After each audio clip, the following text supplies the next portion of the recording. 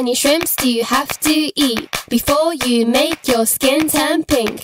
Eat too much and you'll get sick. Shrimps are pretty rich. Black, white, green or blue, show off your natural hue. Flamingo, oh oh oh oh.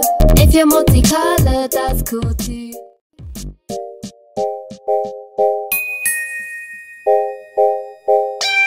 Flamingo.